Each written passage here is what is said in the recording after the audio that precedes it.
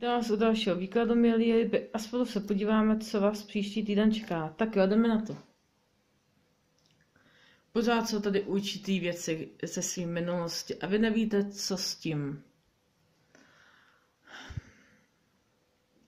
Jsou tam opravdu nevyřešené eh, pro vás i důležité věci ze své minulosti, kterou nemáte uzavřenou, kterou nemáte nějaký věci, aspekty ve svém životě nemáte prostě bohužel vyřešený a ono se vám to pořád vrací a pořád to nosíte jako kouli na noze, pořád ta minulost. Ano, minulosti e, nenajdete pro vás už. Nemáte žít minulostí, ale z té minulosti byste si Řeknu vám to tak, jak mi to říkají kajtem pro vás. Měli byste se konečně poučit ze své minulosti a z té minulosti si vzít jen to hezké a proměnit to ve svůj prospěch, ve svoje vlastní štěstí. Je to možný, ale nemůžete běčet nad rozmitým, eh, rozlitým mlíkem, to vám prostě nepomůže. Ta sebelítost, to, jak se nemáte rádi, to, jak se většině podceňujete, je, mm, jak eh, zkresleně vnímáte sami sebe, není pro vás dobrý. Nastávají u vás změny myšlení, změny životního postoje, který byste si tak strašně přáli, kterým se oháníte, že konečně někdo něco ví, že konečně bude nějakou životní cestu jinou prostě a že máte nějaké své tajné plány, že máte nějaké svoje sny ale vy o tom neumíte komunikovat. Proč? Protože jste do, toho, do, do tohohle bodu jste ještě vnitřně nedospěli. Ještě jste vnitřně k tomuhle bodu nedospěli.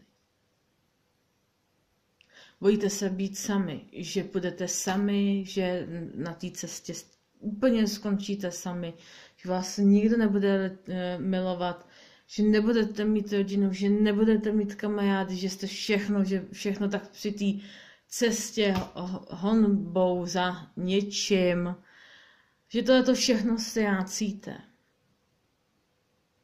Omel, vy nestrácíte tak lidi kolem sebe, jako ztrácíte sami sebe. To je paradox, že? A já myslím, že tohle by vás nenapadlo, že tohle, že ztrácíte sami sebe. Ztrácíte svoji víru, svoji radost, důvod proč žít. Na emocionální úrovni jste teď tak rozsekaný, že nemůžete, nejste teď ani schopný komunikovat.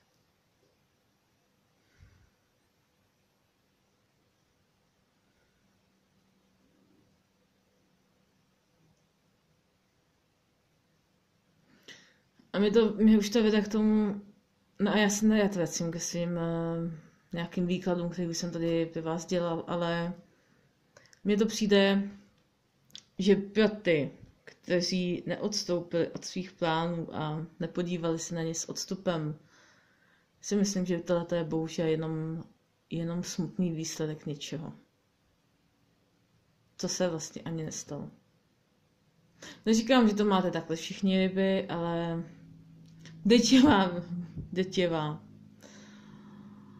Dětěvá z vás to tak bohužel nějakým způsobem má.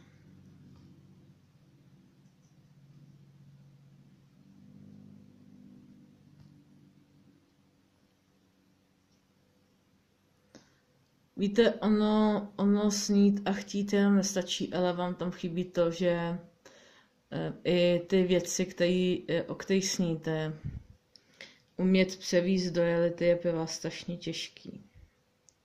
Protože se to jako by scetává s tou realitou a vy už potom necítíte takový to hluboké neplnění, už necítíte takovou tu, takovou tu naději a všechno. Ale je tady i pro vás vzkaz, že bude líp, ale chce o tom mluvit.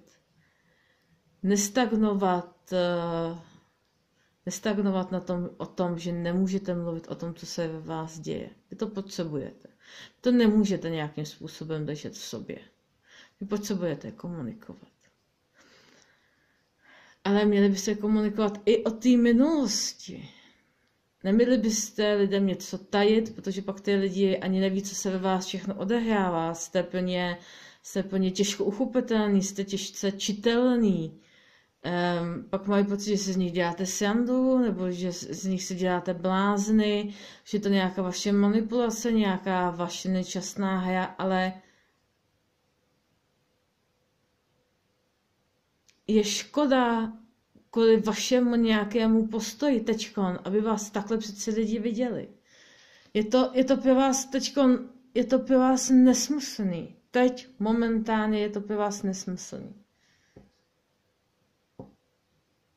Neříkám, že teda u každého, ale děti z vás ano. Je to škoda. A nebojte se jít sami, sami za sebe nějakou svojí cestou, kterou jste si vybírali. Nikdo ve své podstatě na tomto světě není sám a to je jenom iluze a je to ve vaší hlavě, není to ve vaším, není to ve vaší eh, duši a v podstatě duše to není. Z té minulosti si vzít tento hezký, to, co jste se naučili, to nějaký vědomí, který jste nabili, vzít, uchopit a proměnit něco pro vás konečně užitečného, něco, co má pro vás nějaký hluboký význam. Teď nemyslím teda, ne, nemyslím finance, teď vás asi zklamu, byčky, ale ale nějaký ten vnitřní pocit, rozumíte, jo, něco takového, to, co už vám tam hodně chybí. Někdo dokonce má i syndrom vyhoření. Jeden z vás má úplně totální syndrom vyhoření. Pozor na to. Abyste... Eh, je to informace pro jednoho z vás, ale pro vás ostatní milé rybičky, milé ryby, je to, je to i varování. Jo, je to i varování pro vás ostatní. No já vám budu přát hodně štěstí, hodně síly a budu se těšit u dalšího výkladu zase někde příště.